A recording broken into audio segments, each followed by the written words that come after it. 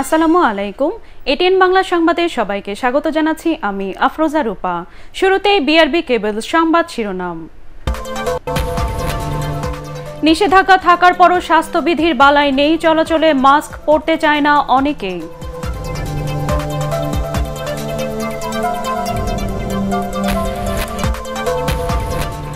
আগামী ছয় মাসের আগে করোনা ভ্যাকসিন পাওয়ার সম্ভাবনা কম, ব্রিফিংয়ে জানালেন স্বাস্থ্য সচিব।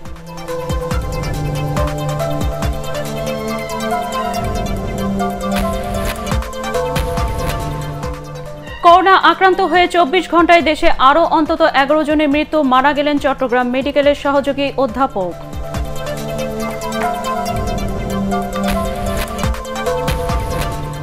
দেড় মাসেরও বেশি সময় পর উত্তর ও মধ্যাঞ্চলে বন্যা পরিস্থিতির উন্নতি, বঙ্গোপসাগরে লঘুচাপ, তিন নম্বর সতর্ক সংকেত।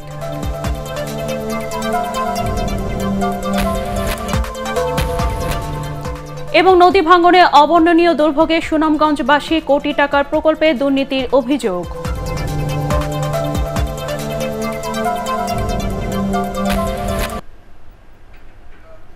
শুনছিলেন বিআরবি কেবল, সংবাদ শিরোনাম। এবার বিস্তারিত। মাস্ক পরতে চাচ্ছে না সাধারণ মানুষ। দেশে করোনা ভাইরাসের প্রাদুর্ভাব ঊর্ধ্বমুখী থাকলেও মানুষজন এখন স্বাস্থ্যবিধি না মেনেই চলাচল করছেন। মাস্ক ছাড়া বাইরে চলাচলে সরকারি নিষেধাজ্ঞা থাকলে তা মানছেন না অনেকেই। তবে সরকার বলছে কেউ নিয়ম না মানলে প্রয়োজনে আইনি ব্যবস্থা নেওয়া হবে। বিস্তারিত জানাচ্ছেন শফিকুল ইসলাম শামীম।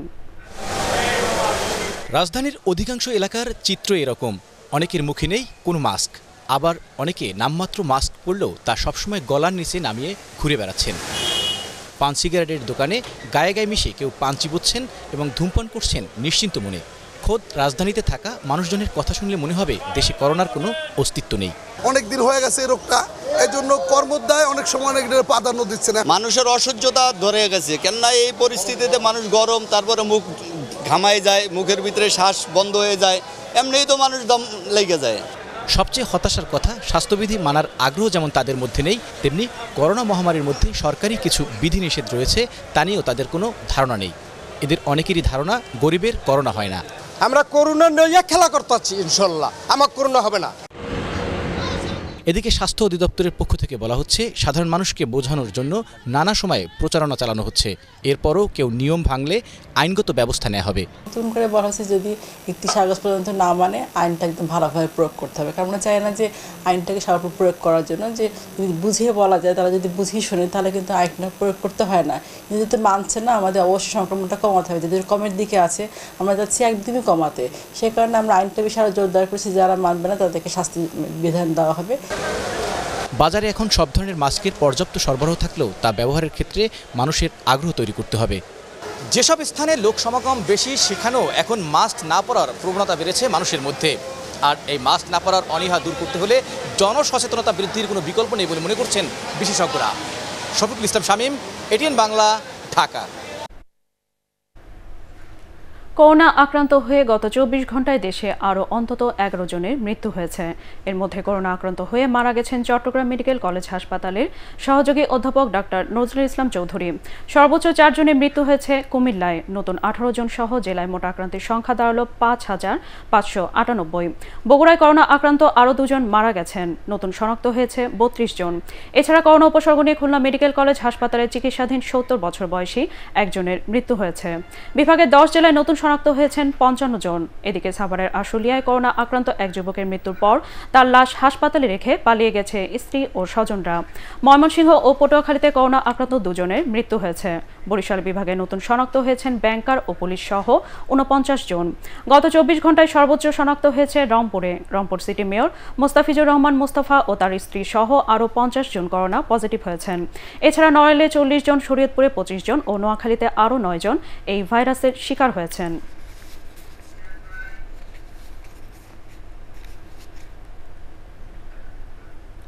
বিশ্বে করোনা ভ্যাকসিন নিয়ে যারা কাজ করছে, তাদের সবার সাথে যোগাযোগ অব্যাহত আছে। কিন্তু আগামী ছয় মাসের আগে তা পাওয়ার সম্ভাবনা কম বলে জানিয়েছেন স্বাস্থ্য সচিব আব্দুল মান্নান। দুপুরে সচিবালয়ে আইসিডিডি আরবির একটি প্রতিনিধি দলের সাথে বৈঠক শেষে তিনি এ তথ্য জানান।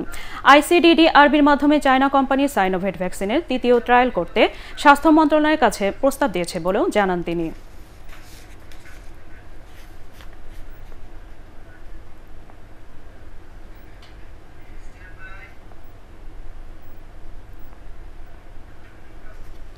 পানি কমতে শুরু করায় সারা দেশে বন্যা পরিস্থিতির কিছুটা উন্নতি হচ্ছে। তবে এখনই ঘরে ফিরতে পারছেন না তেত্রিশ জেলার কয়েক লাখ মানুষ। টাঙ্গাইলে বন্যা পানিতে ডুবে মারা গেছে একই পরিবারের দুই শিশু। প্রতিনিধিদের পাঠানো তথ্য ও ছবিতে রিপোর্ট করছেন এস এম আশরাফ।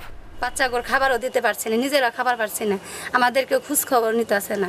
কি অবস্থায় বেঁচে থাকি? এর মধ্যে মনে করেন কেউ আমাদের খোঁজ খবরও নেয় নাই।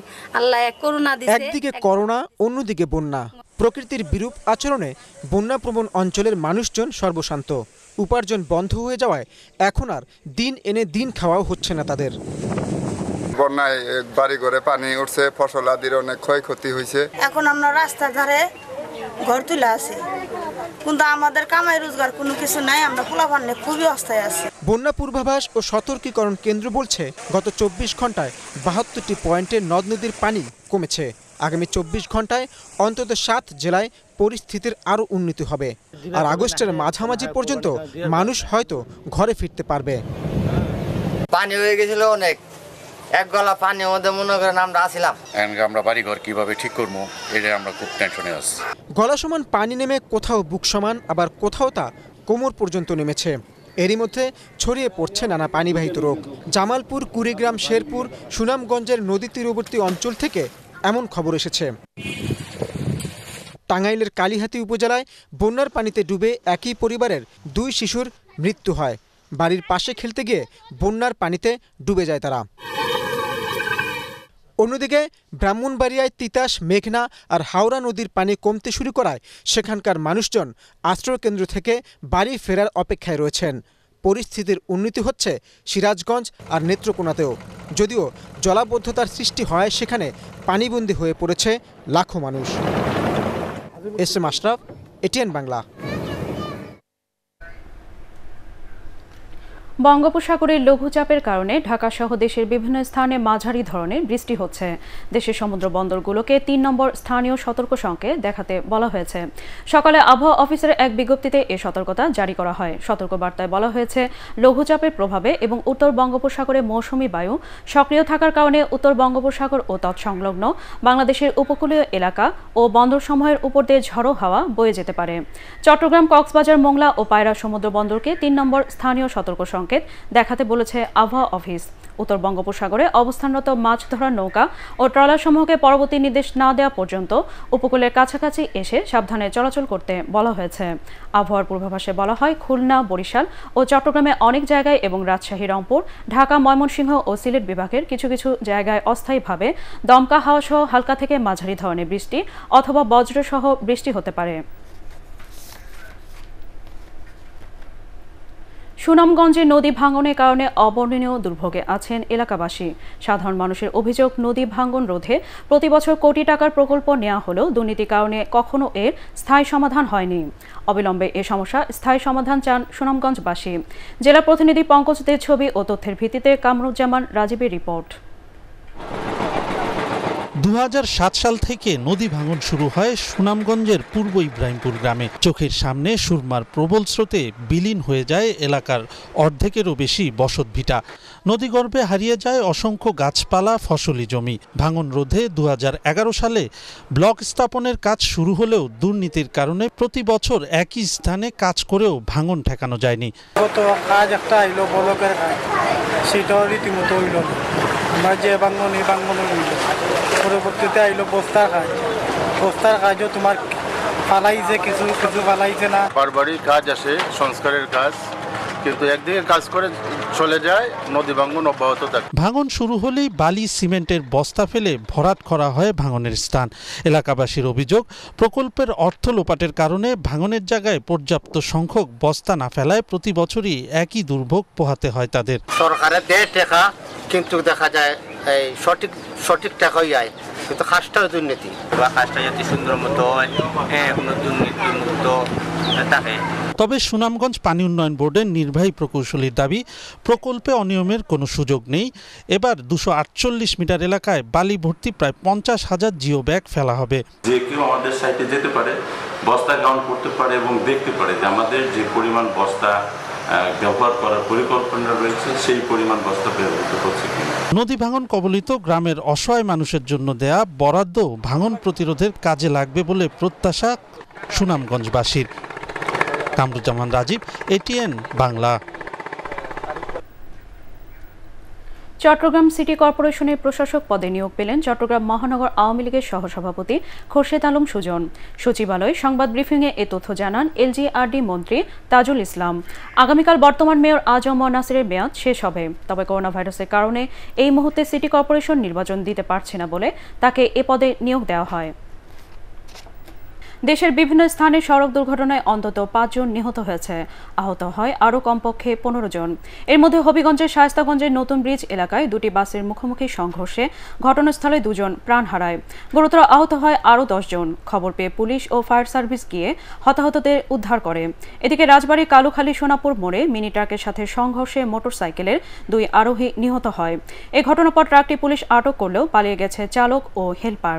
এছাড়া কুমিল্লার দাউদকান্দিতে যাত্রীবাহী বাসের ধাক্কায় এক পথচারী নিহত হয়েছে। আহত হয় আরও বেশ কয়েকজন।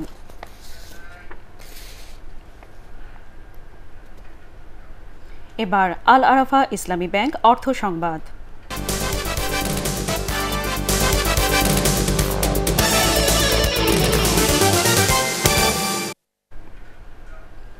টাঙ্গাইলে কোরবানির চামড়া নিয়ে বিপাকে পড়েছে এ শিল্পের ব্যবসায়ীরা।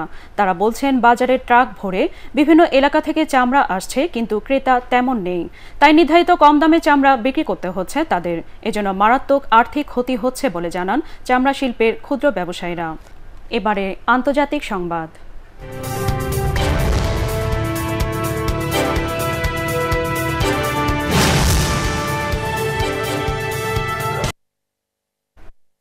ভারত নিয়ন্ত্রিত জম্মু ও কাশ্মীরে ঐতিহাসিক তিনশো সত্তর ধারা বাতিলের এক বছর পূর্তি হবে আগামীকাল। কাশ্মীরের রাজ্য ও বিশেষ স্বায়ত্তশাসন মর্যাদা কেড়ে নেওয়ার বর্ষপূর্তি এই দিনকে ঘিরে বিক্ষোভ ঠেকাতে সেখানে কারফিউ জারি করেছে ভারত। সোমবার জারি করা কারফিউ আগামী বুধবার পর্যন্ত বলবৎ থাকবে। শ্রীনগরের জেলা শাসক জানিয়েছেন, বিচ্ছিন্নতাবাদী এবং পাকিস্তানের মদতপুষ্ট কিছু গোষ্ঠী পাঁচ আগস্ট কালো দিবস হিসেবে পালন করার পরিকল্পনা করেছে। এতে এলাকায় বিশৃঙ্খলা সৃষ্টি হতে পারে বলে কারফিউ জারি করা হয়েছে। গত বছরে পাঁচ আগস্ট সংবিধানের তিনশো সত্তর ধারা অনুযায়ী জম্মু ও কাশ্মীরের বিশেষ মর্যাদা বাতিল করে ভারত সরকার।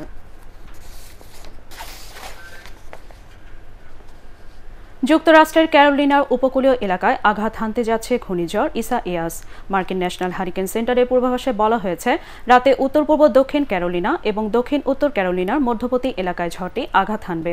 এ সময় প্রবল বৃষ্টিপাতের পাশাপাশি বাতাসের গতিবেগ থাকবে পঁচাত্তর কিলোমিটার। এর ফলে ওইসব এলাকায় বন্যা দেখা দিতে পারে বলেও পূর্বাভাসে বলা হয়েছে। ইসা ইয়াস যুক্তরাষ্ট্রে এবারে নয় নম্বর ঝড় বলে ন্যাশনাল হারিকেন সেন্টার থেকে জানানো হয়েছে। নাটোরের সিংড়ায় বানভাসী মানুষের মাঝে ঈদ পরবর্তী কোরবানির মাংস বিতরণ করেছে উপজেলা বিএনপি। সিংড়া উপজেলা বিএনপি যুগ্ম আহ্বায়ক অ্যাডভোকেট ইউসুফ আলীর উদ্যোগে পাঁচ শতাধিক দুর্গত মানুষের মাঝে এই মাংস বিতরণ করা হয়। ভিডিও কলের মাধ্যমে তাদের সঙ্গে যুক্ত হন বিএনপির কেন্দ্রীয় সাংগঠনিক সম্পাদক অ্যাডভোকেট রুহুল কুদ্দুস, তালুকদার দুলু। এ সময় তিনি বানভাসী মানুষের পাশে দাঁড়াতে বিএনপির নেতা কর্মীদের প্রতি আহ্বান জানান। এবার স্ট্যান্ডার্ড ব্যাংক বাণিজ্য সংবাদ।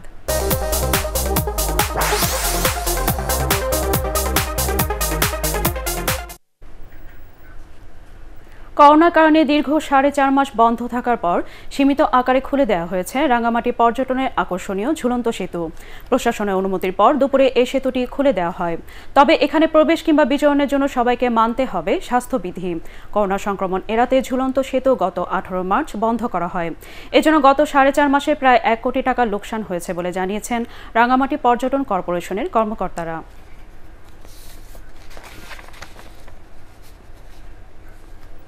এবারে পার্টেক্স খেলার খবর।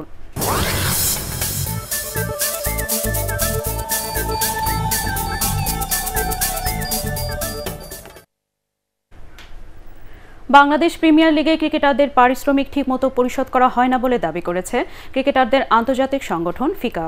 একই সাথে বিশ্বের আরও পাঁচটি ফ্রাঞ্চাইজি টুর্নামেন্টেরও নাম প্রকাশ করে তারা।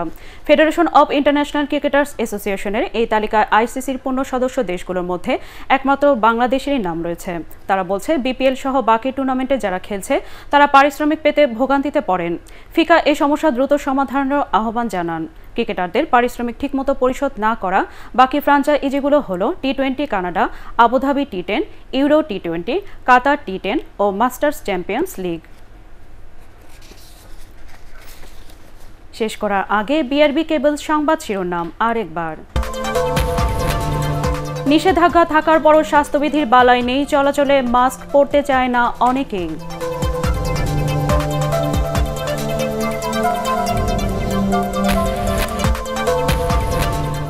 আগামী ছয় মাসের আগে করোনা ভ্যাকসিন পাওয়ার সম্ভাবনা কম ব্রিফিংয়ে জানালেন স্বাস্থ্য সচিব।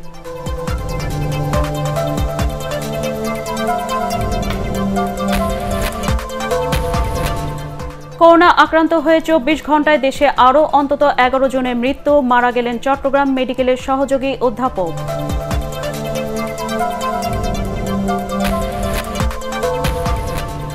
দেড় মাসেরও বেশি সময় পর উত্তর ও মধ্যাঞ্চলে বন্যা পরিস্থিতির উন্নতি, বঙ্গোপসাগরে লঘুচাপ, তিন নম্বর সতর্ক সংকেত।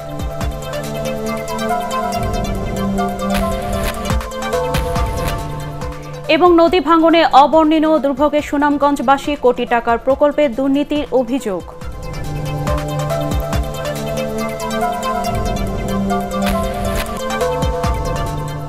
দর্শক পরবর্তী সংবাদ দেখার আমন্ত্রণ জানিয়ে এখনকার মতো শেষ করছি। সবাই ঘরে থাকুন, নিরাপদে থাকুন। এটিএন বাংলা সংবাদ ইউটিউবে দেখতে ব্রাউজ করুন, YouTube slash ATN Bangla news ধন্যবাদ সবাইকে।